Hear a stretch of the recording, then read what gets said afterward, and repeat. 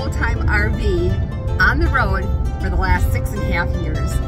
And we named our RV Faith, but we never named our truck. Until now. Let's go down that road.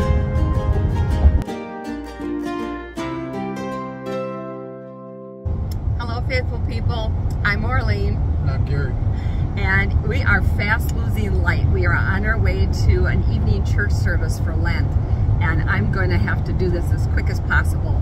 We pre-recorded some parts of it so that we could fit it all in.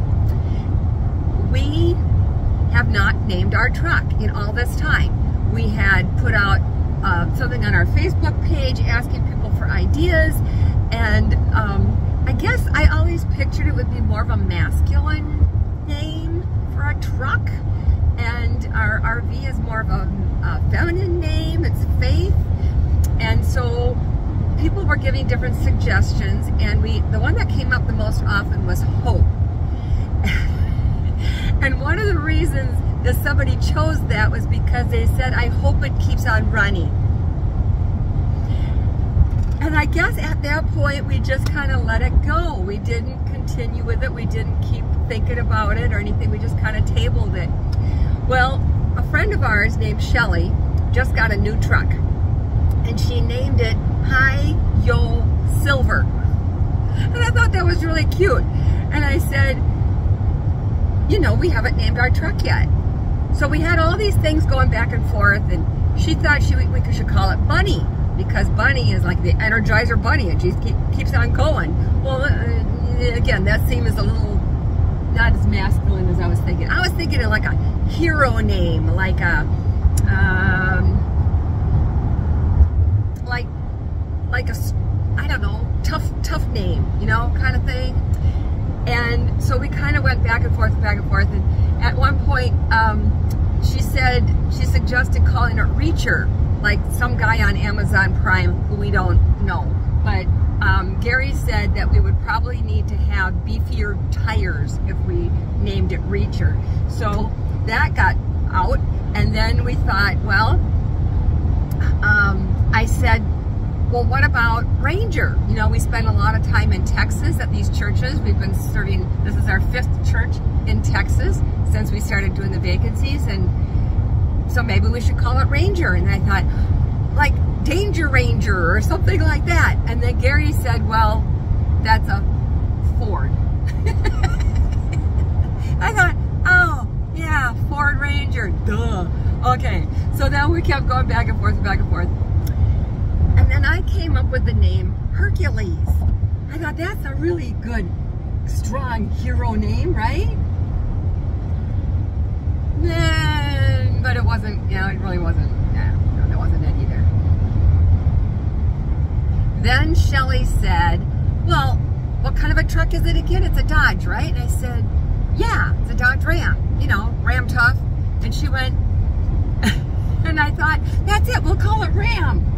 That's a good name, right? Because, and then Gary said, well, that's what it's called, is Ram. He's watching the traffic right now, that's why he's not talking. You'll hear him talk in a minute. So we finally thought about it some more, came up with a really good name for the truck. But first, this is a little bit more information about it, because we never feature our truck, except the breakdowns. So here's info about the truck. So tell us about this truck. What's so special about this truck? The really special part of it is it's ours. the next special next best special part about it is it's paid for. And I suppose the next best thing is it works. and it hauls what we need it to haul. So it's it's been a good truck for us and we can't imagine replacing it at this time. So, Especially with the prices yeah, nowadays. Yeah. So it, it's great. It's a 1998 Dodge Ram 2500, so it's a three quarter ton pickup truck. It uh, has the V10 motor in it, uh, which makes it kind of unusual.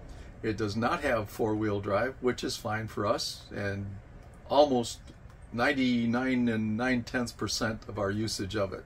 So it's, it's worked out good for us through the years. and we've had it since 2017, uh, the summer of 2017. We don't really know if we're ever going to stop using it. So it's it's been uh, been through a lot of repairs and fixes through the years. What was the very first one? The day we bought it.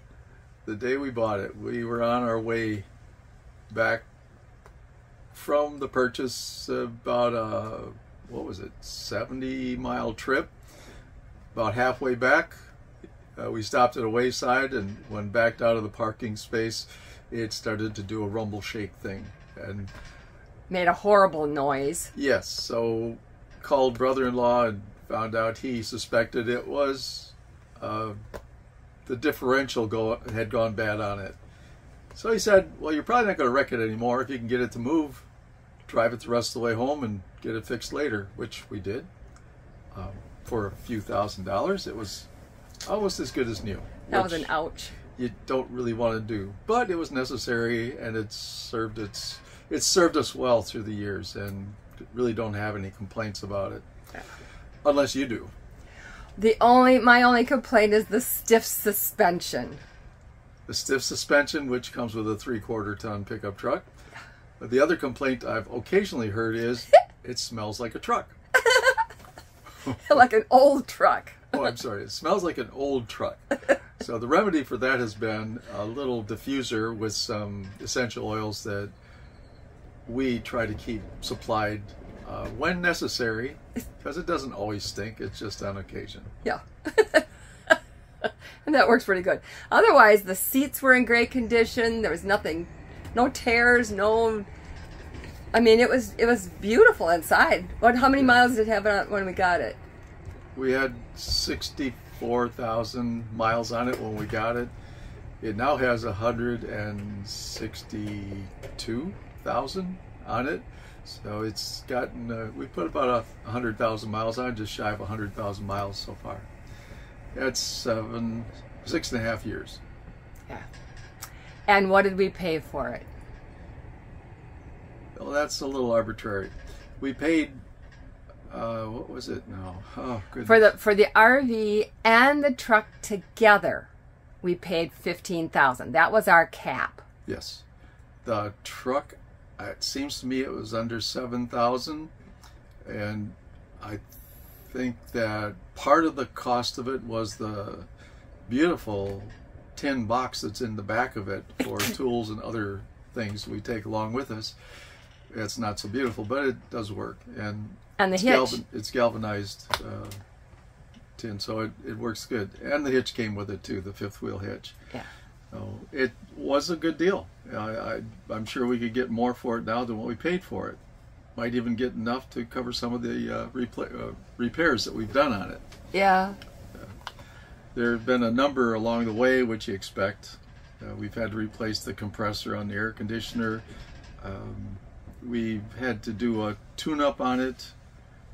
Uh, replaced some wires. Um, what, oh, Bolts. the- Weren't there some bolts that were rusted in it? somewhere. yeah, I'm- I'm not sure. In the back end, we've had to we've had to do uh, shock absorbers twice on the on the rear end. I think once on the front end. Um, the um, radiator, we had that go out on us once, so that was replaced. Brakes have been done a number of times because somebody didn't do them right the first time and we did wear them out a couple of times already going through the mountains and stuff. Uh, so one time we replaced them because they needed it shortly after we got it. I think it was about 40 or 50,000 miles later we had to replace them again, which isn't a big surprise. And then we had to replace them a couple of times after that because something wasn't done right and then finally we paid enough and got the right guy that we we got them done right so they, they've been good now for the last seven eight months Yeah. And other than that, it's just been tires and Yeah. oil changes and regular maintenance Sure. kind of stuff. yeah, Uh, windshield wipers yeah. Yeah. all that good stuff Yeah. Yeah Yeah. So it was a good deal. It has been a great deal, and it's still running. That's even better news. And one thing we are not happy about is after the hailstorm, it was painted by a professional, but it's two different colors. One is the new part of it is silver, and the the truck's original color is more of a gray. Yeah, the, the from what I understand, grays and silvers are always really tough to match up. However, things can be done to make it look better than what it is, and sadly, it's it's what it is. At least we don't have any bumps in it. We had a gouge in the back quarter panel that's now covered up and looks much better than it did. So it, it looks really nice in that regard. Uh, maybe someday we'll pay some extra to get the rest of the paint done without going through another hailstorm Yeah. or or other things. Yeah, but otherwise, it's it's it looks pretty good for its age. There's no rust, Right. very little rust because it hasn't been seen salt. Well, now it is. now we're now in Corpus Christi. That's one thing we're told that everything rusts here. So Yeah. so we might have to give it a good cleaning as we get ready to leave, and then after we're out of the area. Yeah. And the big question that everybody asks, what kind of mileage do you get? Well, it is a twelve or ten cylinder. It is a V10 engine in it, and it does tend to use a bit of gas. It does get us up every mountain we've gone up, and it gets us every place we wanted to go. And when you are as well up as we are, you really don't care. A joke. but the mileage is uh, comparable to any other vehicle that's pulling an RV. It's going to just uh, be what it has, what it is. And so, uh, at the best, we would get ten, uh, maybe on the average around five, uphill against the wind, which happens frequently. Uh, it could be five or six miles a gallon, but uh, so far the important thing is that we've gotten to every destination we wanted to get to, and whenever we've broken down, for whatever reasons, thank God it's been someplace where we have been able to get it fixed without a lot of stress. No tow trucks, nothing. tow trucks. Yep, it's No. always been, we've always been in the right place at the right time. okay. Oh, when talking about the mileage, it does improve a little bit if the wind is behind us and kind of pushing us. That's always a good thing. Or going downhill a lot. Yeah. So it all depends on when you mark it and what kind of terrain you're going across and which direction the wind blows. Yeah. So now you know all about the truck. You kind of get a feel for what it deserves for a name, right? We came up with the name. Are you ready for this? I think it's a great name. I love it. What do you think? I'm getting used to it. You're getting used to it. All right. Okay. we decided to name the truck Rambo. Rambo and Faith. How do you like that combination? Rambo tough. He's a good tough truck and he's taken us all over the country and he's been a really good truck. So Rambo, Rambo, what do you think? What do you think of Rambo and Faith together? Gary is so excited and I'm really losing light. So we got to end this. So let us know what you think in the comments down below. Um, hit that subscribe button down below if you haven't yet. And then next to it, a bell's going to pop up. Ring the bell and you'll be notified every time new videos come up. If you don't ring the bell, you won't know when new videos come up. So make sure you do that. And uh, check out our Facebook page for other things that we don't put in our videos. And until next time, God God bless. bless.